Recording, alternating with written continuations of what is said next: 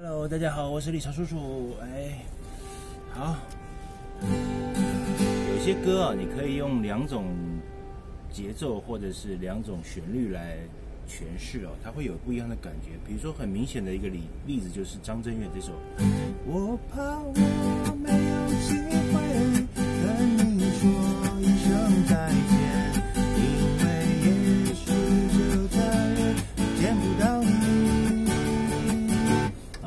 是很欢快的这种扫弦，叫做下上闷上下上闷上好，这种概念。哎呀，小学生过马路啊。那如果你把这首歌变成另外一种风格呢？比如说你让它变慢一点。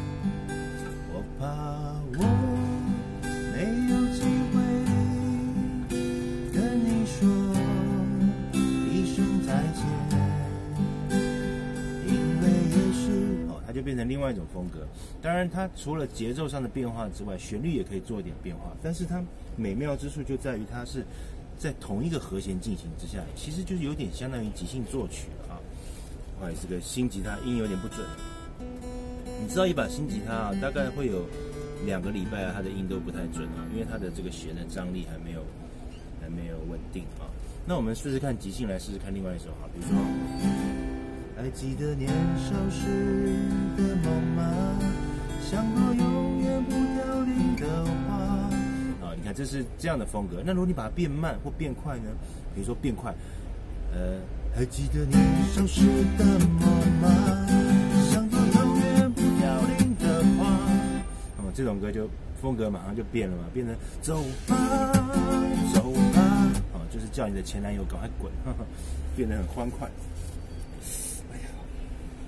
然后呃呃变慢呢，比如说，或者我们试试看变成另外一种调。哎，你看这个变调夹，有一个人他发信息跟我说，这个变调夹不是这样夹，是要这样夹。好，我试一下啊，还是有点。可见我我不适合用太贵的变调夹啊。比如说我变慢一点。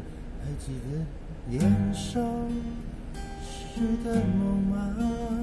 像朵永像朵永远不凋零的花。经过的。有些歌适合，有些歌不适合。我觉得你可以自己再做一些实验。你可以把一些比较经典的歌做一些修改。当然你可能会被骂了，尤其是那种比较多。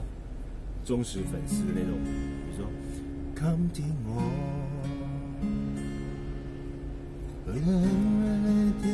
怎么唱嘛？就在遥远的山梦飘远方，风雨里追光，梦里忽然忘了，你我海海波。你就可以改变它的旋律。原谅我这一生不羁放纵我自由，哪会怕有一天会跌倒？背起了理想，谁人都可以，哪会怕有一天会跌倒？这样的话，你就会被很多的粉丝骂，说不是你的粉丝哦，是比 Beyond 的粉丝都很厉害，说你凭你也这样乱唱我家居的歌啊？好，就这样了，拜拜。